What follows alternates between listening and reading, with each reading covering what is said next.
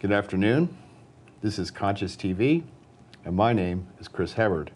Today we have Mr. Greg Goode with us, Dr. Greg Goode, actually, who is a doctor of philosophy, having taken his degree at the University of Rochester in New York.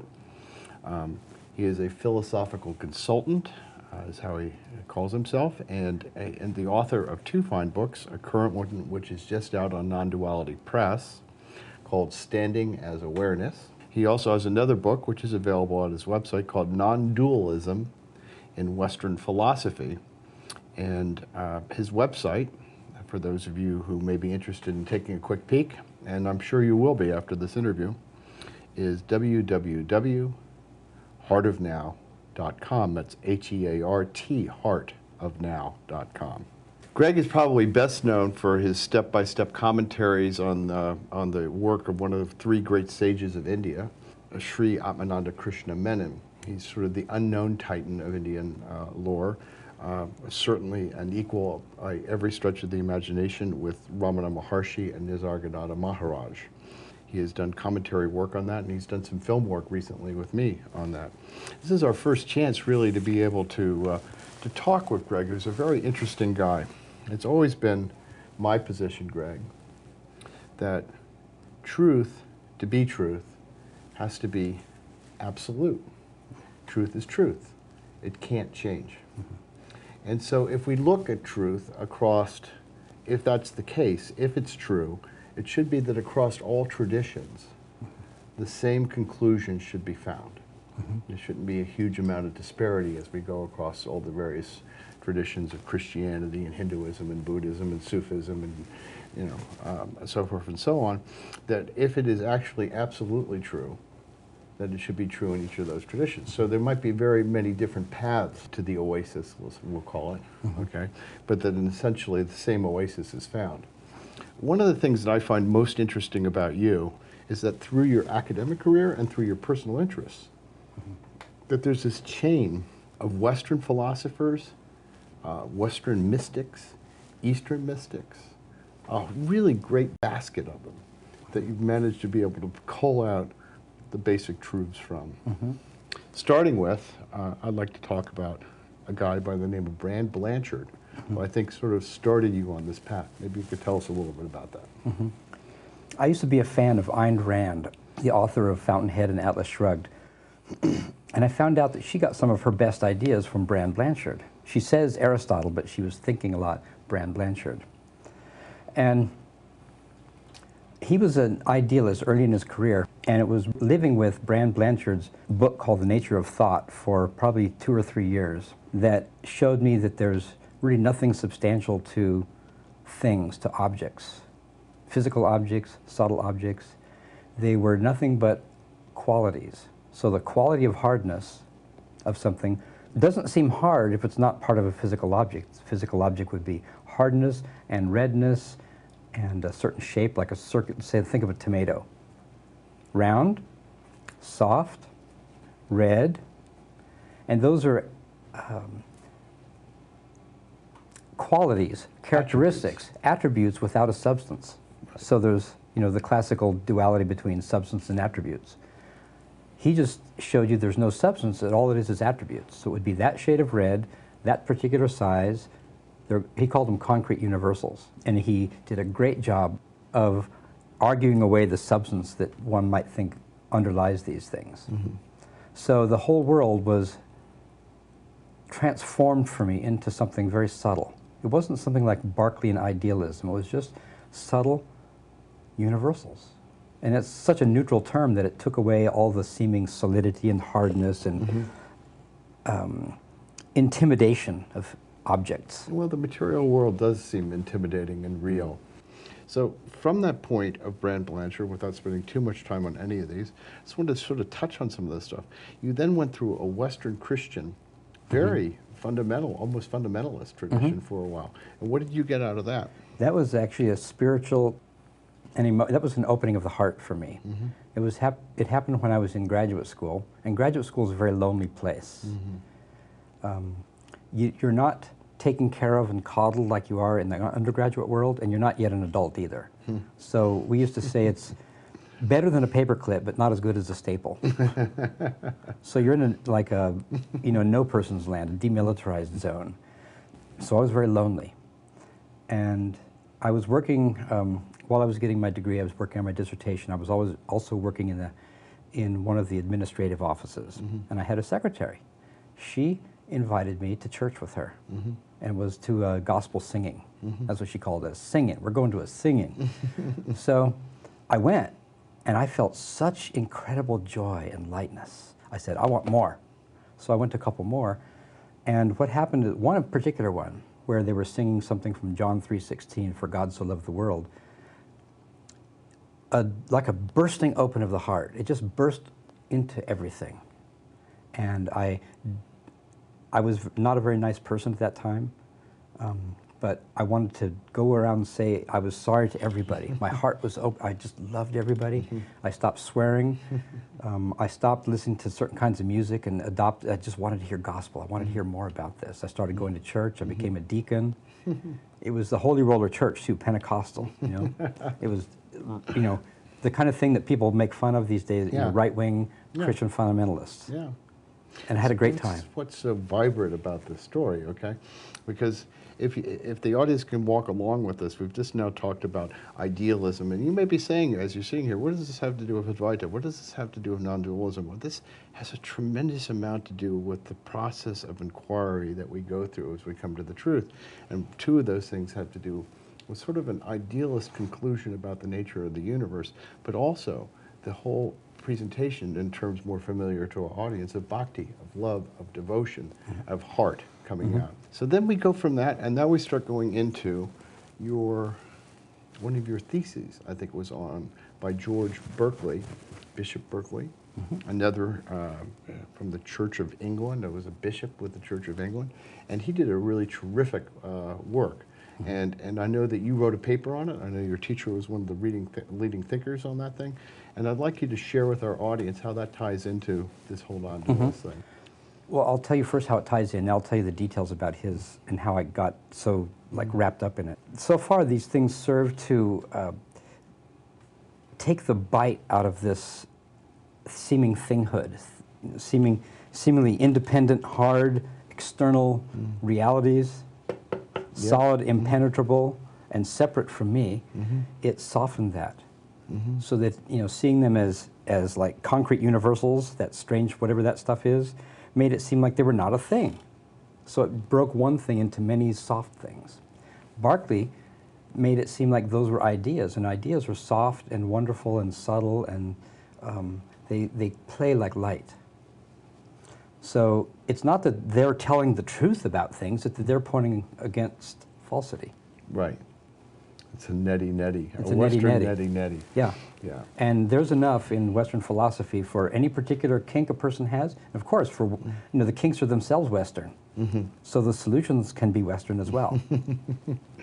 So, um, for those of those uh, who might like to play catch-up ball with George Berkeley, would you recommend one of his books in particular? yes, three dialogues between Hylas and Philonous, and Right. it's a. Uh, he wrote it a little bit later than he wrote his main works on idealism, and it was actually a um, an answer to frequently asked questions that Berkeley himself got. So he had a chance to add, you know, a couple new viewpoints, and he wrote it in the form of a dialogue. And one thing about Berkeley is he's one of the most accessible writers in the Western philosophical tradition. Well, that's nice because accessible and philosophy usually don't go together. And I recently had the chance to demonstrate that to someone. Said they said, "Oh, Berkeley is really hard to read." But I was in a, a grad graduate seminar for Berkeley.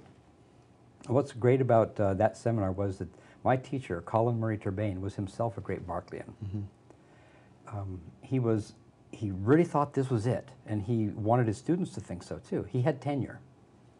He was almost emeritus, Mm-hmm. so he didn't have to worry about being called, you know, like um, he didn't have to worry about leading the witness and leading the you know the students and mm-hmm. stuff. He he didn't work. Doesn't matter. This is it. So mm-hmm. he told us, if you want a good grade in this class, you know Berkeley is right and his critics are wrong. So if you want a good grade in this class, you better write pro Berkeley. if you write against Berkeley, your paper has to be even better. Because otherwise, I won't be convinced.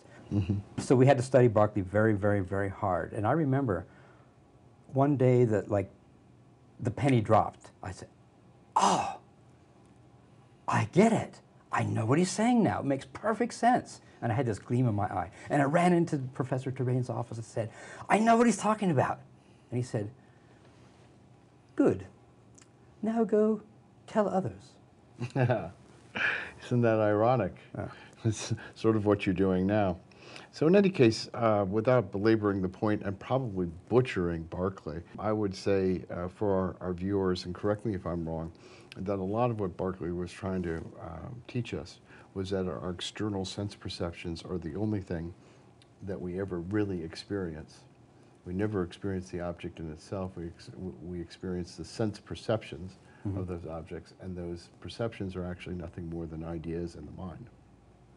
It's pretty good. It's like 87% Yeah. right. Well, consider, considering I haven't done much studying of them. Um, He said that the object, like the, the tomato, would be just a word we give a collection of these, um, these ideas. He said they were all ideas. So the ideas don't represent a tomato. They're not caused by a tomato. They are the tomato. Right. And they're not external because there's no, um, everything is an idea other than a mind. So they're a multiplicity of minds, and the source of ideas come from God's mind. Now, not everybody goes along with that part, and I didn't quite either, but I got the deconstructive part, the critical Right. part. Right. And this is the point I'm trying to make without spending a whole lot of time on any of these, is that this deconstruction is part of the self-inquiry process that a lot of people mm-hmm. have been to. And there's a reason why I'm going down this road, mm-hmm. and a reason why I think that you Yeah. are you, you are very helpful to, to, to, to people right now.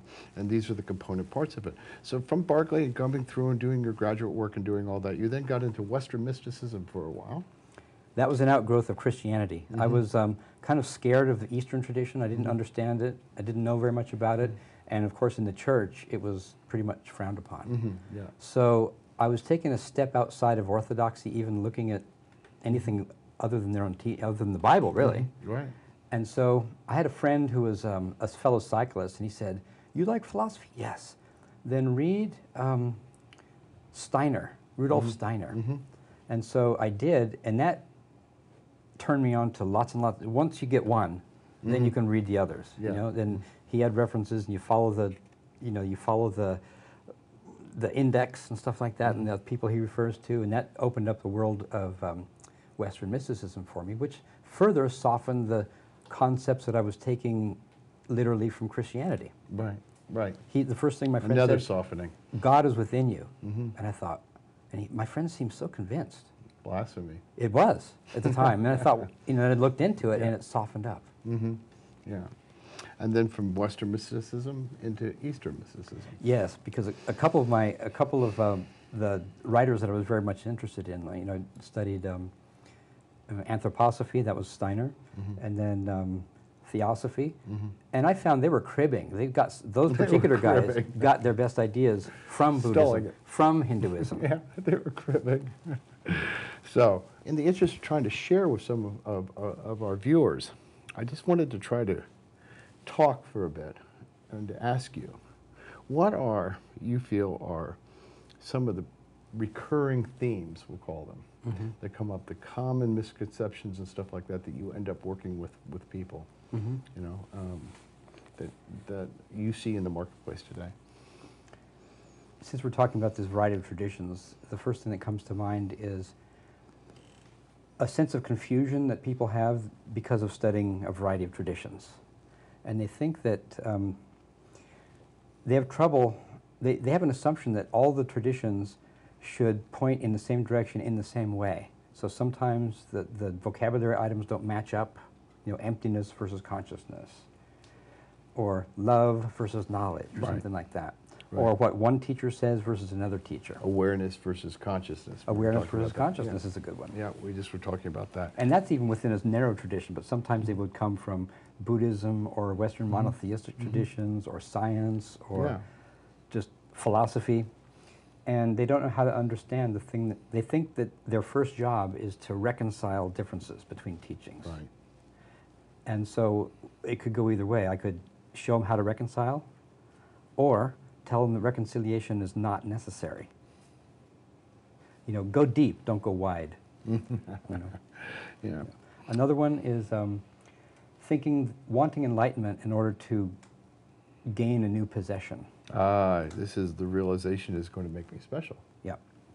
And that's oftentimes, um, most of the time, a misunderstanding of awareness or enlightenment, or having imbibed a desire to become like a teacher of theirs.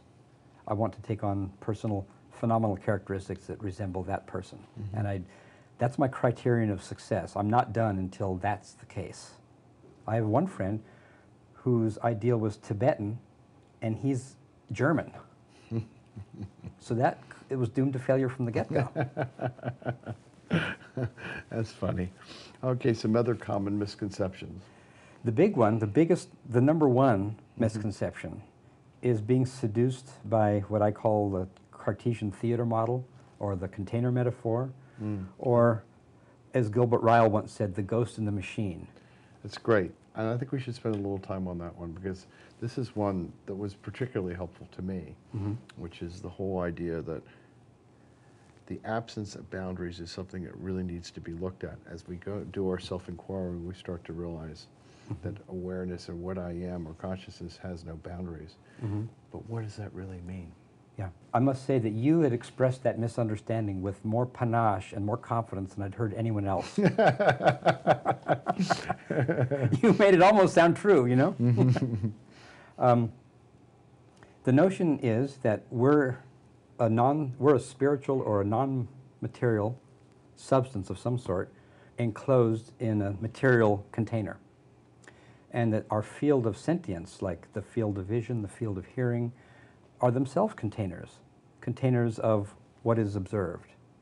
And whenever you have a container, you have an outside of the container. So that sets up a, a very, um, a, a form of separation that is the root of suffering. That if I'm in here and I feel that that's out there, I feel vulnerable, I feel limited, I can feel alienated. Even if it's not a matter of danger, I can still feel alienated from reality. Right. Most of our viewers uh, today will not relate to what you call the Cartesian model, but to say that we're starting to gnaw on the bone at the root of the idea of feeling of separation. What causes the actual feeling of separation in, in, in this conversation? Right. I think they'll get it real quick here. Right. Okay? Right. But what I found fascinating is something much more fundamental, which is how those boundaries are still operating in the subtle world. hmm Well, the witness of the body is not the body, so there's, that's, there's clarity on that. But it seems like the witness is still inside something. And if it's inside something, maybe it's inside a subtle container of some sort. You know, you wouldn't think that the witness is inside a cranium made of bone, but if it feels like it's inside of something, then it leaves a possibility that there's another such container with another such sentience somewhere else. And there's a separation there. So there's a separation from inside outside and one to another. Right. And there's a separation of the way I want it to be and the way it is. Right. These are all examples of different kinds of separation. That um, this whole idea of that what I am might even be a personal sense of awareness. Mm-hmm. Okay. Yeah. That somehow, and when you really start to dig into that, you say, okay, I'm a personal sense of awareness. Let's see if we can figure out where the boundaries are. Mm-hmm. Even when doing an inspection of bodily sensations, where does my awareness end and where does the sensation begin? Right. You know, and where, why is it that the sound of the fan going on in the background over here and the itch in my lip, are they really appearing in two different places? Am I receiving that information in two different places, or is it all happening at zero distance from me? Right. If you look at, if you ask yourself where a thought arises, that's maybe easier to see because you don't think of a thought as something um, physical in the first place. Right. So the place a sound arises is the same place a thought arises. Well, So this is beautiful, but to get people to even to that point of investigating that what they're experiencing is not objects, but essentially their, their sensory perception of the object. And that when they say they're experiencing a chair here, they're experiencing something, it has tactile feeling, it feels sort of smooth on the top, it feels very solid. Um, it, it might have a sound, okay, associated with it, so there's hearing involved in it. I could see it. It seems very solid. It's black, and et cetera, and so forth. But everything, like you were tr- trying to allude to before, I'm trying to bring this so that someone can understand what you're actually trying to say. These are all descriptions. These are attributes. These are things that I'm sensory perceptions that I'm perceiving. And where are those perceptions going on? Is the perception going on here, or is it going on in mind? Well, you could start with, um, let's say, pain. Um, that's the way that George Berkeley starts with the feeling of burning pain. So let's say that there's burning, let's say there's a fire here or this kind of pain. Is the pain here? Right. You wouldn't want to No. say that. It, it seems No. very clear that the pain is not here. Right. Well, every characteristic's like that. Yeah. The pain is not there. Right. So is the color there? Well, where is, the, where is color experienced? That's the question. Now, in the experience of a color, a color comes up, a color arises, and it rises in a very gentle, open way if you see a color. Does the color announce where it comes from? Does the color announce where it is the location of a color communicated by the color? No, not by the color in itself. Now, Yeah. you gotta, you gotta stop here for a second for our viewers because what you're doing is you're stripping away strictly the data of color from the superimpositions that mm-hmm. come along with it. Right. When you say color, yeah, sure, it says color's right here. Right. Okay, that's a superimposition. We're just talking about the sight, the visual sight of color. The seeing. Right, The the seeing seeing. of the color. Mm-hmm. So the seeing of the color doesn't arise in the color. It doesn't arise outside, and it doesn't arise at any distance from here. There's no border that you can see. There's no gap that you can see when it arises. Mm-hmm. It's right here. There's no way to put it somewhere else. There's no way, it, it doesn't announce a destination, or it doesn't announce a, a source or a location. It's just present. And when you look into it, it's even presence. It's not the presence of an object like a, a cat in your living room that could also be in the kitchen. Right. It's just simple presence, close, global presence. Right, Just the visual, just the, just the seeing. right. And then the seeing, that's, that's the color seen, supposedly. It's not really seen, but it's, the color is inseparable from seeing. Even in imagination, Yeah. you can't imagine a color that doesn't have seeing connected with it somehow. Of course. The color is not distant from the seeing, and the seeing is not distant from the witnessing of the seeing or the knowledge of the seeing. Right. I call that the, the implosion or the telescoping inwards, that there's inseparability all the way back. And it's not, I'm not, I shouldn't even be pointing to a body because mm-hmm. there's Well, no we're gonna get to that. directionality. Well, you got to start someplace, and you, you, you- you are pointing to the body. If, if what I am is awareness, and if what I am is not an object, how is it possible that something which is not an object fits inside something that is an object? How can something that's non-physical mm-hmm. be inside something that's physical? Mm-hmm. Okay, it's an impossibility. Well, I think, like you said, it's, it's okay to, we, we don't attack all containers at once. you know. Right. No, but the point We, is we because we attack don't the, have the outermost ones or the most tangible ones Yeah, first. Right. And then, and it, because they're the ones on the outer edges. Right. And also, they're kind of easy to see.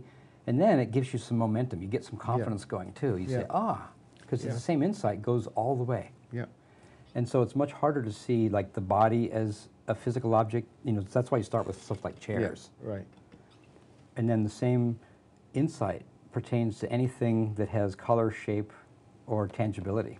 So this exercise, though, so that people know, because we don't really um, have the benefit of enough time to go through Yeah. the whole analysis Right. right, now, do- doesn't start and end with seeing. We also go through hearing. We also go through feeling. Right. We also maybe even go through smelling and Yes. maybe even tasting. Yes. But we go through the exercise of doing that with each of the sensory perceptions until Mm-hmm. we've established and we have confidence of the fact that those are experienced as perceptions Right.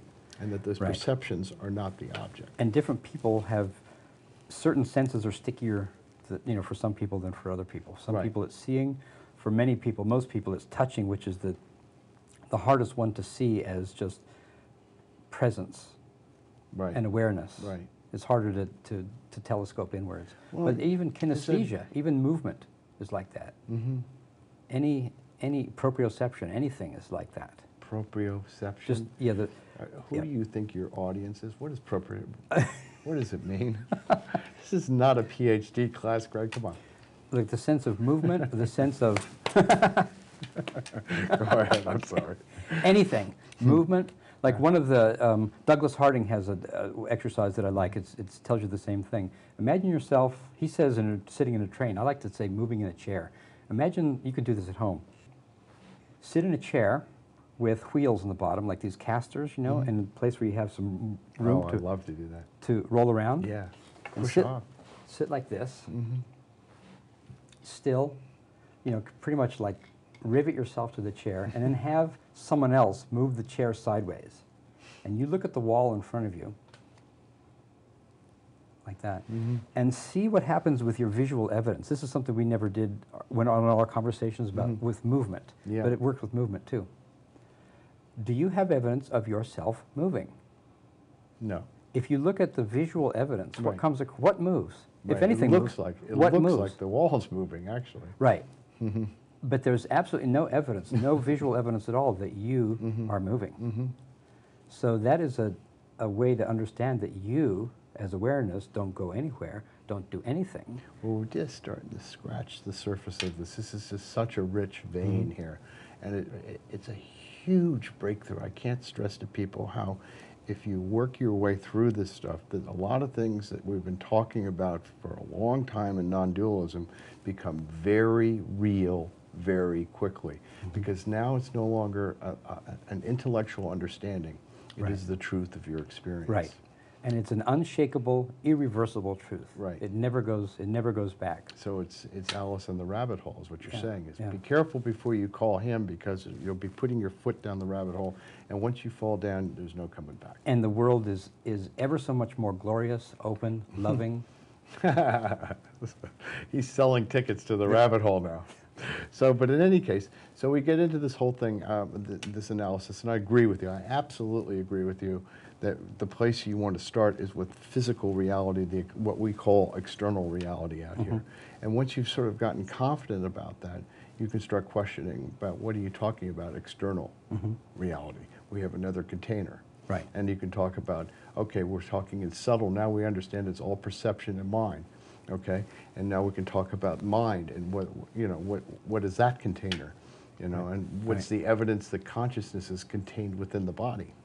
Right, right. Okay. Because the body can be investigated along the very, very same lines as that. Right. The body is not the, the corridor or the, it's the oh. communicator of sensations. Yeah. It is itself sensed. If you think about it just one step further, a perception can't see a perception, Right. and a perception can't carry a perception. So if the body is a perception, it can't serve as a conduit or pipeline of perceptions. Because a perception itself doesn't do anything more than that which it's perceived to do. And it does a lot less. So you, you don't see the body carrying perceptions across, you know, little, little tubes or pipes like that. It's just an inert sense, just like the arising of color, the arising of a sense of texture, a pain. Mm-hmm. You don't see a body, you don't feel a body here, you don't s- f- feel a body doing this. The Right. doing this itself is an intellectual conclusion. Right. You know, and we've heard for many, many, many years through, you know, centuries that this is how the body works. Right. So it takes a little bit of time to crack it. Yeah. Well, it's just, I can't tell you how absolutely, uh, both destabilizing but also liberating it is once you walk through this process. And we haven't even gotten into the more subtle containers that you and I have talked about because really we're, I, I want to at least touch on a couple of the other common misconceptions. But I'm just trying to give our audience here a feel for some of the areas that caught, at least caught me up Sure. in, the, in, in this investigation that you were helpful with. Um, there is um, another common misconception, which is that there's nothing to do. Mm. And I think you probably have some people that are coming to you because they're sort of on an intuitive level wondering, you know, what is that all about? Is that really where we're at? Yeah. Well, there's a certain non-dual discourse that says that makes that a main pinnacle of the teaching, that there's nothing to do. And then that sets up a little bit of discrepancy with people because most of the rest of the things they've heard in their whole life say that there's lots of stuff to do and you should do it. So a lot of times when they come to me, they're talking as though there's a telephone, there's a computer, and there's a Greg, and there's a them, and everything's in place. That's their assumption about things. And the one thing that they have a question about is if there's something to do or not. Yet they're not questioning everything across the board, it's just that one issue. So they have a world, they have a person, they have a person they're talking to, and everything else. It's a world without, it's a world totally in place, but without this one element called doership. Right, And this is a global investigation. right. Everything ends up being sort of equally consciousness. There's mm-hmm. no privileged, like, can opener kind of one notion that topples all the rest. It's mm-hmm. different for different people. Mm-hmm. So if a person believes in a world and a you and a me, Right. then the. I think it's a wonderful thing to use the notion of doership. Right. That's how they can do stuff that they Right. think will help them. Right. And they're going to start th- understanding this stuff as beneficial for themselves Right. until that also starts dissolving. Right. I mean, the great, the great advice that was given to me is, if you still believe yourself to be a separate person, then by all means, do the work of investigating mm-hmm. whether or not you're a separate person. And there's many, many, and a lot of times they have uh, other, when they have this particular question, it's something they've heard and it's almost a uh, non-dual cliche these days. In It fact, is. so much so that I think it's actually lost some of the power that Yeah. it might have had several Mhm. years ago. Mhm. Because people are finding out they've actually turned to these other things. Some people Yeah. go to yoga. There's Yeah. Because it didn't work. infinitude. It didn't work. Yeah, it's because it didn't work. So one of the things they want the to do, pudding. they're also attracted to other traditions that they have had contact with, but they Mm-hmm. felt like a sense of non-dual guilt. Right. They shouldn't do this. Or else they'd be losing non-dual points for it. you know? and so a lot of what I do is say it's okay. You know, one of the scariest things to me of all is that we approach non-duality as a deconstruction of our personalities and identification, and somehow this brilliant thing called ignorance creates a new identity. It's the non-doer identity, or it's the spiritual identity, or it's the, you know, and all we've done is we've replaced one set of ident- identifications as a separate something into a whole new one. Um, another one uh, of the common misconceptions that uh, seems to be coming out of vogue as well, talking about doership, um, is the one um, that thinking is your enemy. Okay, that was a very uh, big issue. Um, and I guess you've had some experience with people coming to you saying, you know, is it really important that I shut my mind up before I can really investigate this stuff and what's going on? This, you know, mm-hmm. is, is my thinking an indication that I'm not making progress? Or Right. And some people have the goal, it's very extreme sometimes. And that's also something you don't hear as much these days. It was certain teachers who were in vogue, maybe in teachings were in vogue 10 or 15 years ago, had this more. You don't hear it that much anymore. And that left people with the feeling that they're supposed to be totally thoughtless. Mm-hmm. A person, a mind, it's okay to have senses, you know, like sensory mm-hmm. input, but mm-hmm. no thoughts. Thoughts are the enemy, but other things aren't. And um, that actually takes away one of the greatest tools you can have is thinking. He's, thinking is the greatest tool of all for deconstructing thinking. it does. And it doesn't have to leave anything dangling at the end in the background. You know, the Buddha's great, the great image of you have a thorn in your flesh, you pick it out with another thorn, and throw them both away. Right. They're tools. They're tools. Okay, I um, I've, I've just touched upon a few of the the many things I'm sure that you've heard from from students and, and, and, and confidentially from teachers, different kinds of things that have come up uh, on your list. I'd like to share with the audience that there is a, a new book out that uh, Greg has just written called Standing as Awareness. And a lot of these issues are addressed in that book. Um, and some of it, uh, Standing as Awareness, is actually a term from Atmananda Krishna Menon, who is, as, as uh, Greg and I are very fond of, of saying, is probably next, along with Ramana Maharshi and Nisargadatta Maharaj, the third of the great titans, and is much less well known. And some of his work is uh, is really valuable.